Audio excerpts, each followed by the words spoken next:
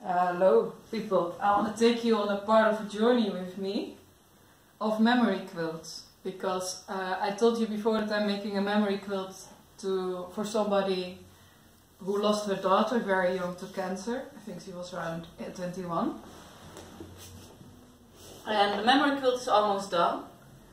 However, I had a lot of uh, clothes left. And also, um, the mother told me that uh, after she died, Xenia is her name, they started a foundation to help uh, teenagers like her, of young adults actually, to have um, to go on a holiday with their friends, because usually young adults um, they also have very close friendships. But uh, a lot of the organizations in the Netherlands helping young people who are terminally ill, like Make a Wish Foundation and stuff like that, all those organizations quit when you're 18. After that, there's not really anything for you. And also, the organizations that are there, they're focused on families. So there are organizations that help you go on holiday and say goodbye to your family, but there are not really organizations who help you um, with the friendship uh, transition, uh, saying goodbye. And I thought it was really beautiful that she thought about that, because indeed, when you're a young adult, friendships become so important. I think a lot of us can remember those intense first young friendships when you're growing up. I remember my friendships, they were very intense.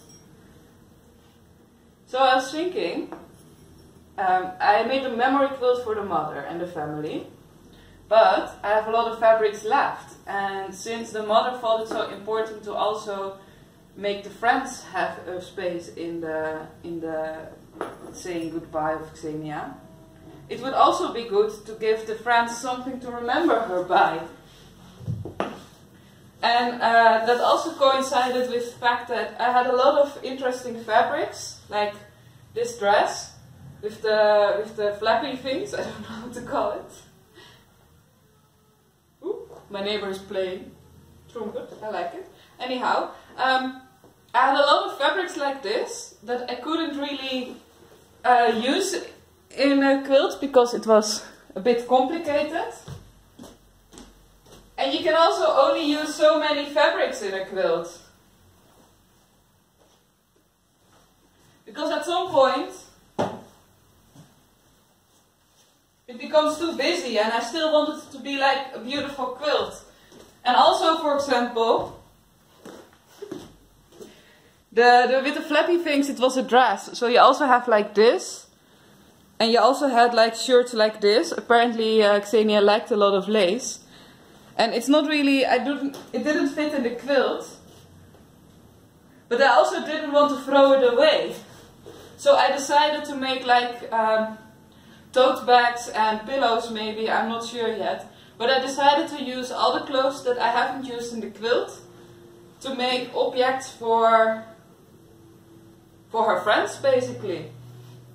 I haven't told the mother yet, so maybe this is an introduction for her as well to the project.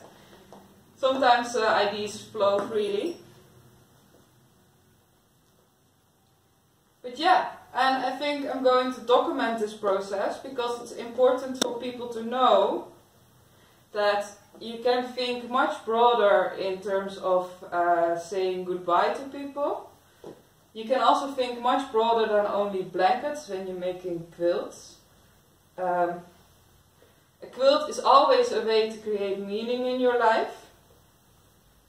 Also, and also to maybe keep a person, person's memory alive. I don't know even know if the if the friends will like the bags at all, but I think it will be a nice thing to have.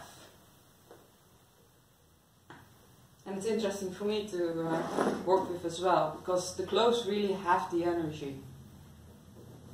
And um, I'm pinning it down on the tote bag because uh, tote bags you you usually get those canvas things because it's sustainable.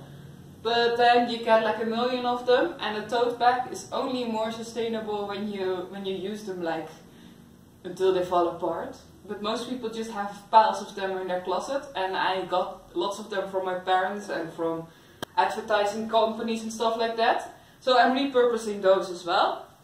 Uh, I wanted to pin the flip flappy thing loosely, so uh, the flappy flappy will still have its effect. I'm not completely sure yet where and how I will attach it. Uh, I think we will have to figure it out together, but um, I will show you. Um, the bag will be closed like this.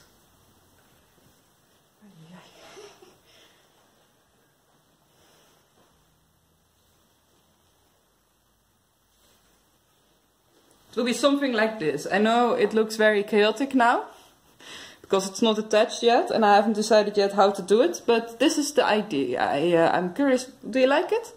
And uh, keep an eye on my stories to see more of my uh, this project and my other quilting project. And I'm going to tell the mother what I'm doing.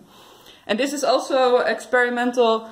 Um, I'm also helping the Dutch Sustainable Fashion Week to motivate young teenagers to make to upcycle their clothes into quilts, re-upcycled bags with the help of tote bags. So I'm also going to use this project to give them inspiration. Because I think it's good for teenagers to not only think about the fashion part, but also think about the meaning clothes have. So I think with this project, the inspirational project of of somebody young who's deaf, which is very sad, but did lead to an inspirational organization can uh, how how you can keep people close to you when when or when they died or when you have fabric that has otherwise good memories because you went on holiday with it, festival shirts, it reminds you of your childhood. That there are many ways you can make something out of it, and then you create clothing with value instead of a fast fashion. I think the way out of fast fashion is by focusing on the meaning things can have and uh, and how much and and by focusing on the benefits of using meaning in your clothes instead of saying it's bad. So this is my project and I'm already a little bit touched by it because clothes of people have energy and I really feel this is the right way to go for me with this memory quilt and I think the friends will love it.